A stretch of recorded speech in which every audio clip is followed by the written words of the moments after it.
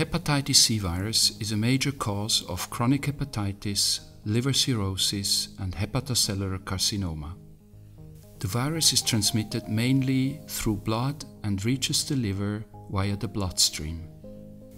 The virus circulates as a so called lipoviral particle associated with components of low density and very low density lipoproteins. The viral envelope glycoproteins are localized on the surface, whereas the nucleocapsid is located within the hydrophobic interior of the lipoviral particle. The nucleocapsid is formed of core proteins interacting with the viral RNA genome.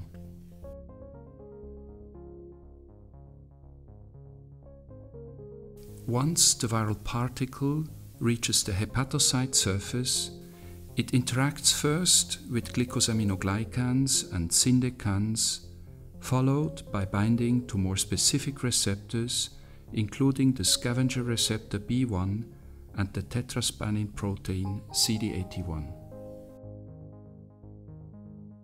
The viral particle, complexed with these entry factors, reaches tight junctions and engages in further interactions with Claudin 1 and occludin. The viral particle subsequently enters the cell via receptor and clathrin mediated endocytosis.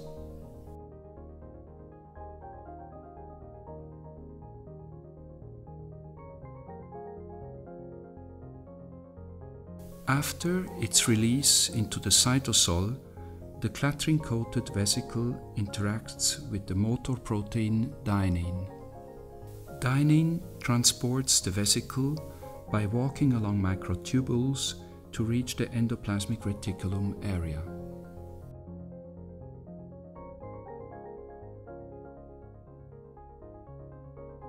Acidification of the endosome lumen induces conformational changes of the viral envelope glycoproteins, which in turn interact with the endosomal membrane, leading to fusion of the viral and endosomal membranes.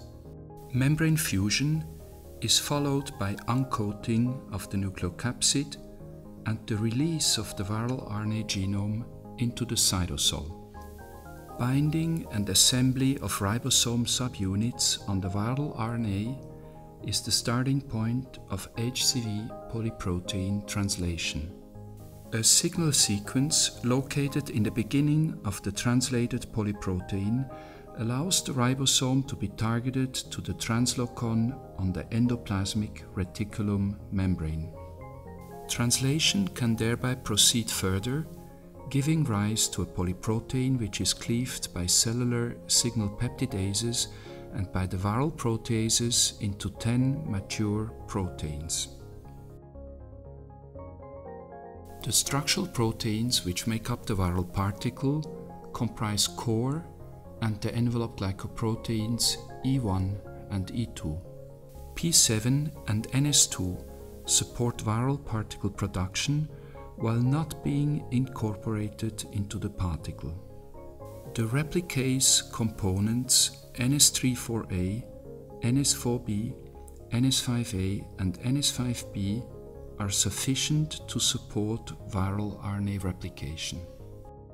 HCV replicase proteins, in concert with host factors, induce rearrangements of the ER membrane, including the formation of double membrane vesicles. These vesicles cluster to form the membranous web, which represents the site of HCV RNA replication. Viral RNA synthesis is catalyzed by the RNA dependent RNA polymerase activity of NS5B, which acts in concert with other viral non structural proteins as well as several host factors. After synthesis of a negative strand RNA intermediate, multiple positive strand progeny RNAs are generated from this template and either used for translation and replication or packaged into nucleocapsid particles.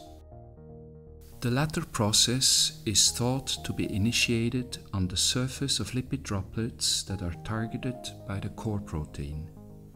it is assumed that a network of NS5A delivers the viral RNA to core proteins for assembly into nucleocapsids.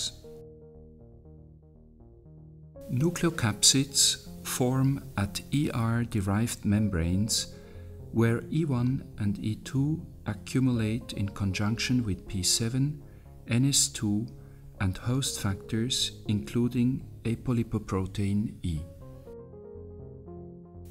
The viral envelope glycoproteins are acquired by budding, a process which appears to be linked to the very low density lipoprotein machinery.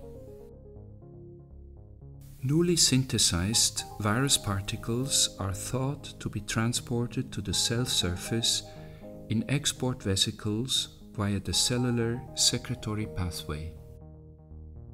Finally, they are released from the cell by exocytosis to reach the bloodstream.